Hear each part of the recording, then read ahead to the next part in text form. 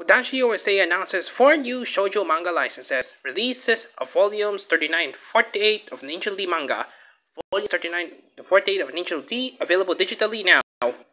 Kodansha Comics announced at its panel at Comic Con International San Diego Saturday, and it has released volumes 39 to 48 of Shuichi Shigeno's Initial D manga digitally in English today. Kodansha is also hosting other Initial D related events at the convention.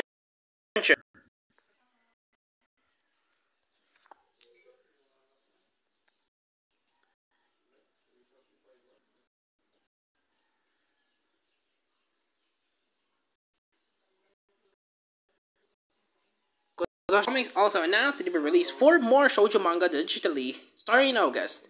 Vampire will release on August 20. The Raccoon's Bride to Be will be released on August 27. Title Smile Down the Runaway. Runway will be released on September 3. Queen Bee will be released um, soon.